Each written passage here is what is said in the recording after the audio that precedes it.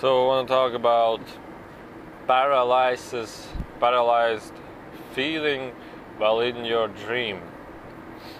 Um, well, uh, the most easiest description to it, the most fastest that I can say is a basically near out of body experience. It's a really, really, it's like a half out of body experience. Um, some of you maybe are aware of astral travel, astral traveling, uh, going outside of your body, and uh, this is basically the the idea when you're in when you're in your sleep. Basically, your consciousness is uh, in a free flow. It goes through dimensions, it goes through worlds, other worlds, parallel worlds, whatever. Uh, it goes through them by the energy that have, you have within you. So basically, if you have a frightening energy before you go to sleep, uh, you will get frightening experiences in your dream because uh, that energy will reflect and will align you to have a specific type of that energy experience because you have aligned yourself to that experience therefore your consciousness will, will really freely would love to automatically uh, unconscious go there. But the paralyzed feeling, basically, when your consciousness is in another world, still your astral body remains in your body.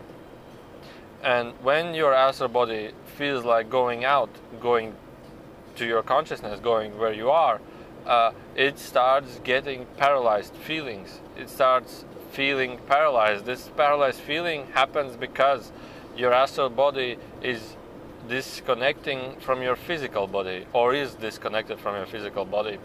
And this feeling causes paralyzed feelings because your astral body is isn't yet ready to move and because it is lightly disconnected it can the physical body cannot move so basically also many times this feeling is because there is somebody wanting to communicate with you or give you some kind of a you know assistance give you some kind of a connection information or is willing to move you from one place to another place while you still remain in your body? Uh, well it could be aliens also.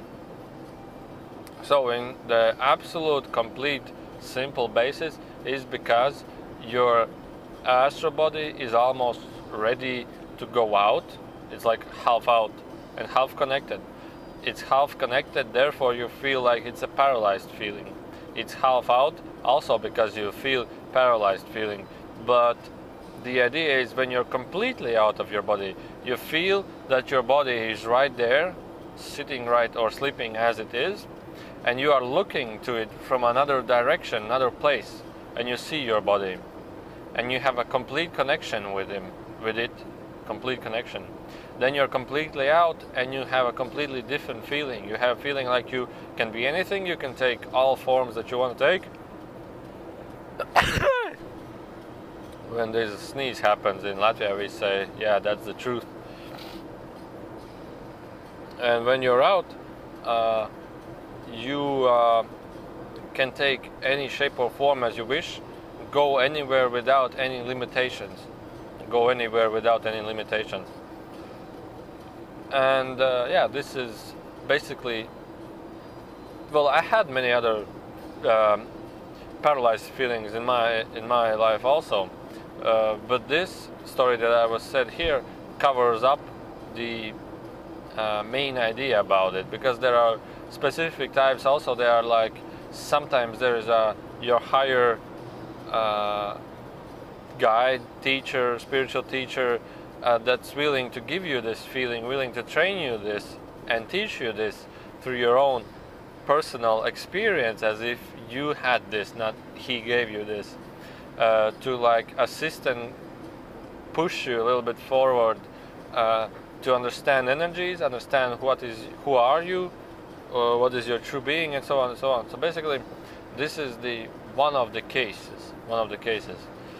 Uh, but there are many other cases. But uh, the story which I was telling right here covers up maybe 60% of the cases, and definitely you, uh, by understanding this, by having these experiences, uh, you have a little bit wider range of uh, understanding. If you have any questions, you can just write on the comments below and I will gladly answer them.